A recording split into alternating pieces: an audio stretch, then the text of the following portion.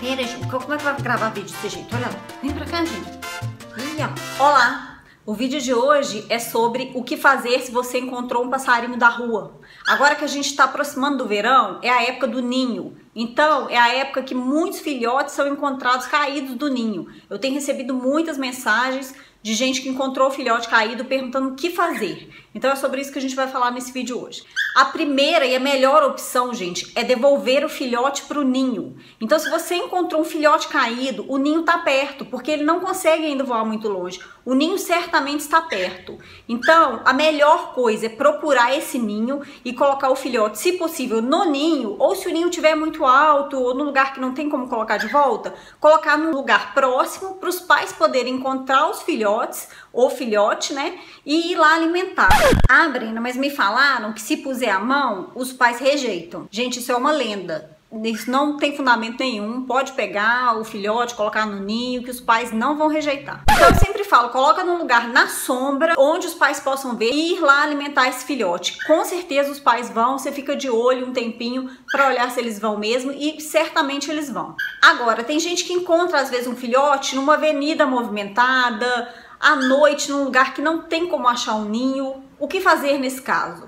Nesse caso, eu recomendo que você procure o IBAMA ou a Polícia Ambiental da sua cidade e entregue esse filhote. Por quê? Ele vai precisar ser alimentado com papinha, ele ainda não come sozinho e a maioria das pessoas não sabe como fazer isso. Aí a pessoa leva para casa e fica lá, coloca arroz cozido, coloca pão, coloca não sei o que, coloca alpiste e o bicho, gente, não come, não vai comer, porque ele era um filhote que estava sendo alimentado pelos pais.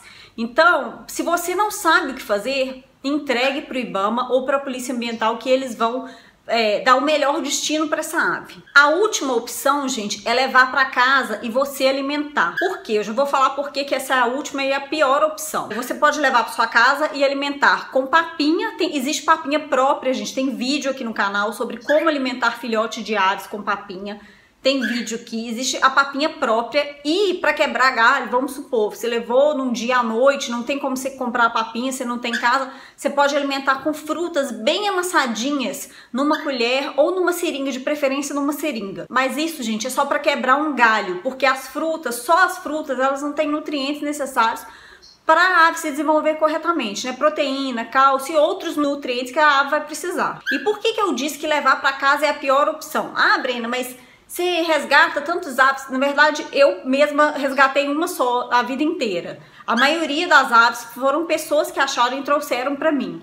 E estavam nessa situação, né, de avenidas movimentadas, ou o ninho tinha sido destruído, ou qualquer outra situação que elas não puderam devolver essas aves para o ninho. E por que, que isso é um problema? Porque depois a gente vai ter problema para reintroduzir essas aves na natureza. Elas não podem simplesmente ser soltas assim, né? Tipo, tchau, vai embora, porque elas vão acabar morrendo. Então elas têm que ser reintroduzidas na natureza de forma correta.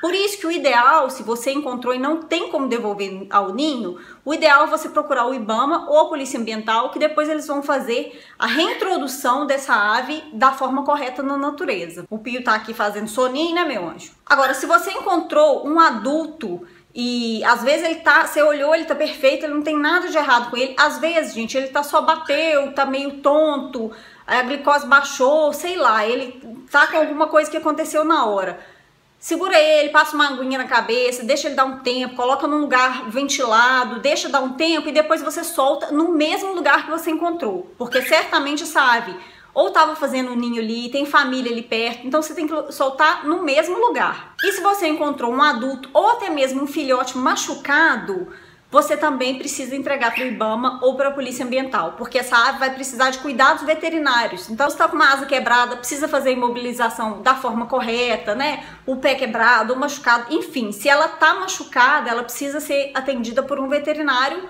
para fazer, para tratar de forma correta, né? Antes de devolver essa ave para a natureza. Então a gente vai encerrar esse vídeo por aqui, né, meu anjo? Porque o Pio já tá fazendo mime essa hora, né? A gente não quer saber de nada, só quer saber de mime.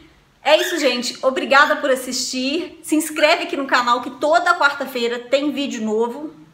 Com bicho doido, né, meu anjo? Então se inscreve aí. E se o YouTube não te avisar que tem vídeo novo, você volta aqui na quarta-feira que tem. Né, meu? Sempre na parte da tarde tem. Então é isso, gente. Obrigada por assistir. Clique em gostei pra gente e até o próximo vídeo.